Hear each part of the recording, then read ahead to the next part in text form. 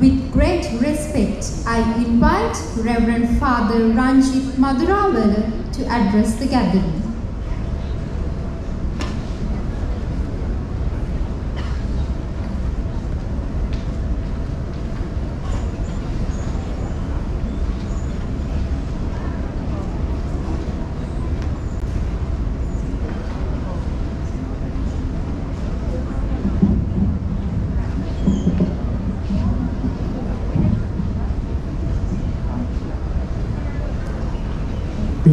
පීඨාධිපති තුමන් සහ උප පීඨාධිපති මහත්ම මහත්මියන්ගෙන්ද කතිකාචාර්ය තුමන් සාමියන්ලාගෙන්ද ඒ වගේම ගුරු ශිෂ්‍ය ශිෂ්‍යාවන් සහ නිකුත් සියලු දෙනාගෙන්ද අවසරයි. මේ මොහොතට මාව ආරාධනා කරද්දී මට කිව්වේ නත්තල පිළිබඳව අවබෝධයක් ලබා දෙන්න නත්තල කියන්නේ මොකක්ද කියන්න පොඩ්ඩක් කතා කරන්න කියලා.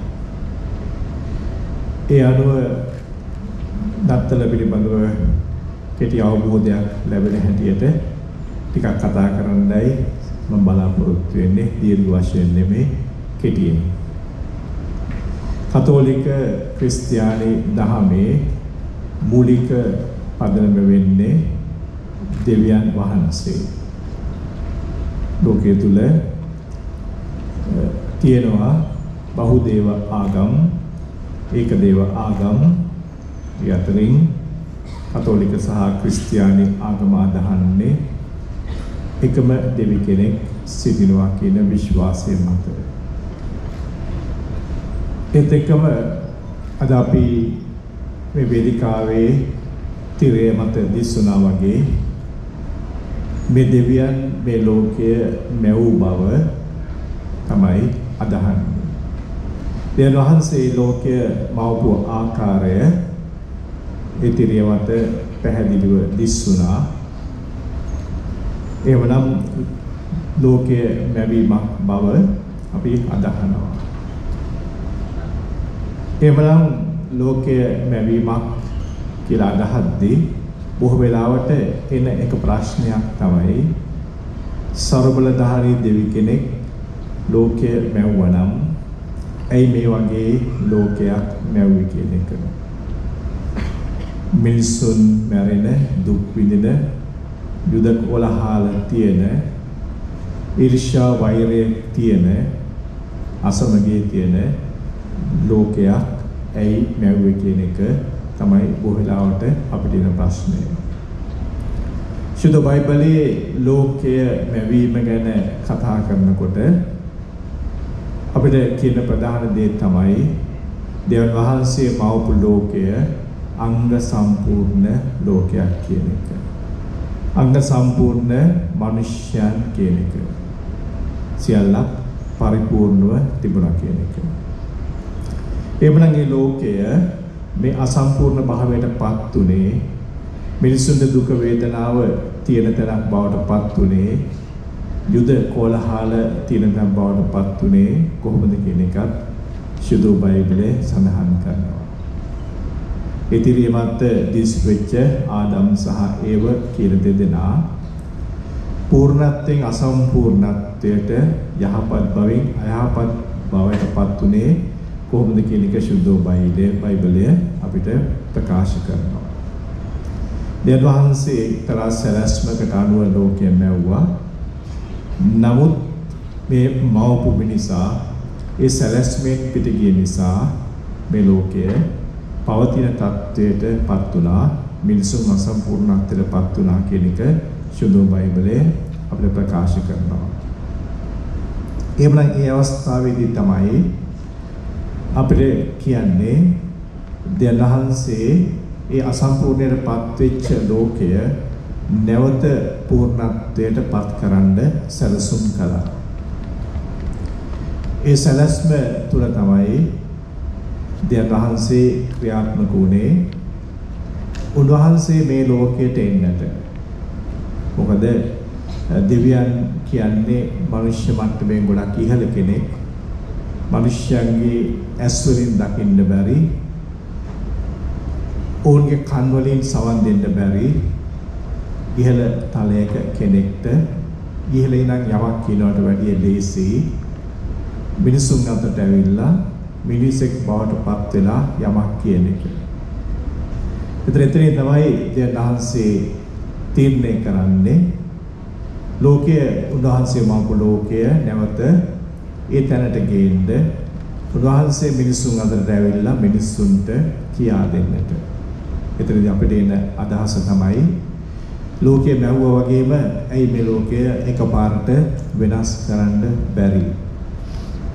ඇයි දැන්හන්සේ මිනිසෙක් වගේ ලෝකෙට ඇවිල්ලා මිනිසුත් එක්ක ජීවත් වෙලා මිනිසුන්ට මේ දේ කියා දෙන්න තීරණය කෙරුවේ. ඒක අපි දන්නේ ඒක දැන්හන්සේගේ කැමැත්ත උන්වහන්සේගේ සැලැස්ම කෙසේ හෝ උන්වහන්සේ තීරණය කෙරුවා මිනිසෙක් හැටියට මේ ලෝකයට ඇවිල්ලා ඒ ලෝකය පව මුල් අවස්ථාවට ගෙන යන්නට. කාලාන්තර තිස්සේ අපි දකිනවා දැන් උන්වහන්සේ මිනිස්යන්ව සූදානම් කරනවා මේ උන්වහන්සේගේ පැමිණීමට.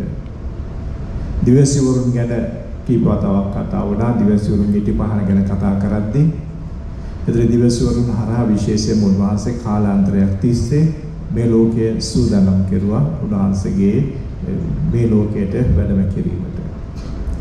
එහෙනම් ඒ දෙවියන් වහන්සේ මිනිස් බව අරගෙන මිනිසියෙකු වගේ ඉපදිලා මිනිසියෙකුට තියෙන සියලුම දුර්ලභකම් වැළඳගෙන මේ ලෝකයට පැමිණීම තමයි අපි නත්තල කියලා කියන්නේ.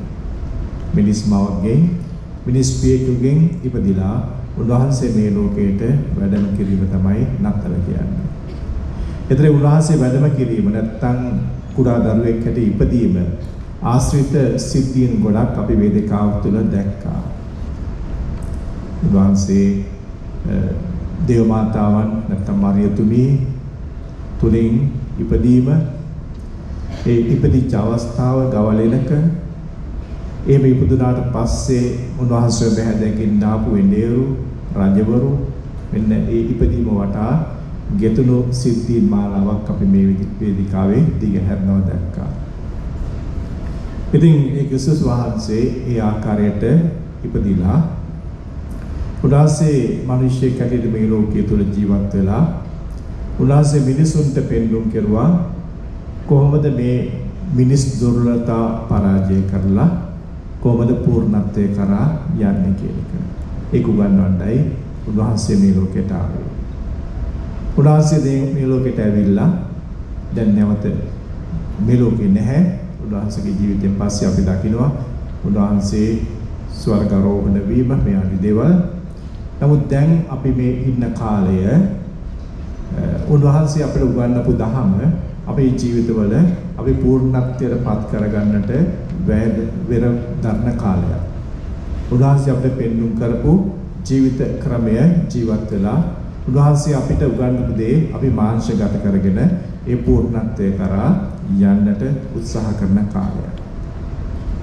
අපි විශ්වාස කරනවා උන්වහන්සේ නැවත වඩිනවයි කියන එක. උන්වහන්සේ නැවත වඩින්නේ ඒ ලෝකය පූර්ණත්වයට පත් කරන්නයි කියන එක අපේ ඇදහිල්ලයි. එවන නත්තරේදී අපි කාරණා දෙකක් සමරනවා. එකක් තමයි අතීතයක් සමරනවා. ඒ අතීතය තමයි උන්වහන්සේගේ ඉපදීම. මින් අවුරුදු 2000කට පෙර දරුවෙක් වගේ බෙත්ලෙහෙමේ ඉපදීම උන්වහන්සේ සැලසුම් කරපු විදිහට. නත්තරේදී අපි අනාගතයක් සමරනවා. මේ අනාගතය තමයි උන්වහන්සේ නැවත පැමිණීම. ඒ නැවත පැමිණීම අපි කියන්නේ ඒ පූර්ණත්වයට ලෝකය පත් කිරීම සඳහා උන්වහන්සේ නැවත පැමිණ බව. ඒතර මේ නත්තර සමරද්දී අපි මේ කාරණා දෙක තමයි සිහිපත් කරන්නේ. අද නත්තල ගොඩක් විදිහට අලුත් දේවල් බිහි වෙලා තියෙනවා විශේෂයෙන්ම වාණිජ ලෝකය හරහා ඒවා සැබෑ නත්තල නෙමෙයි නමුත් සැබෑ නත්තල තමයි මේ නත්තලෙන් ගෙන ආපු පණිවිඩය ඒ පණිවිඩය හරහා අපි පූර්ණත්වයක් කරා යන්න ගන්න උත්සාහය ඒ දේවල් තමයි අපිට නත්තලේදී මතක් කරන්නේ. ඉතින් නත්තල අපිට මහඟු අවස්ථාවක් විශේෂයෙන්ම ගොඩක් ඒ ධර්මය පිළිපදින්න අපව සූදානම් කරගන්න. ඒ සඳහා තමයි අර ඉටි පහන් අතන පහෙන් සති පහක කාලික සූදානමක් තියෙනවා. එක් එක් සතියේදී අපි එක් එක් ඉටි පහන දාල්නවා. මේ සූදානම තුලින් අපි අපේ අධ්‍යාත්මය තියුර කරගෙන පුබුදුවාගෙන ඉදිරියට පියවරක් ගන්නවා විනාත්තල් කාලේදී. ඉතින් ඒ කෙටි පණිවිඩයත් එක්ක මම විශේෂයෙන්ම අගය කරනවා අද දවසේ මේ අධ්‍යාපන විද්‍යාපීඨයේ ගුරු ශිෂ්‍ය ශිෂ්‍යාවන් උන්ගේ පීඨාධිපතිවරුන් සහ කතිකාචාර්යවරුන් මේ ඔක්කොම එකතු වෙලා මේ නත්තල් උත්සව පවත්වන්නට ගත්ත පියවර ගැන මේක ඉතාමත් ලස්සන පණිවිඩයක් දෙනවා සුළු කතෝලික ක්‍රිස්තියානි ශිෂ්‍ය ශිෂ්‍යාවන් ටිකක් හිටියත් බෞද්ධරයක් ඉන්න ඔක්කොම දෙනා සහයෝගය දීලා මේ වගේ ලස්සන උත්සවයක් පැවැත්වීම අපිට පණිවිඩයක් දෙනවා අපේ එකමුතුකම ගැන ඒත් එක්කම අපි ඔක්කොම විවිධ පාරවල් වලින් එකම ගමනක් යන බව මේ වගේ අත්වල බැඳගෙන යාම තුළින් තමයි අපිට සාමය සතුට බිහි වෙන්නේ කියන එක අපිට මතක් කරනවා.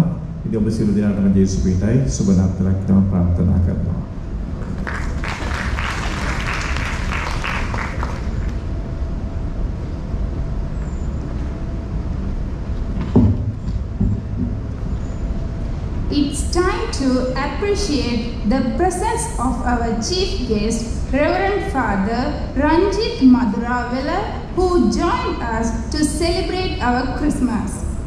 I invite our President Sir to present the token of appreciation to him now.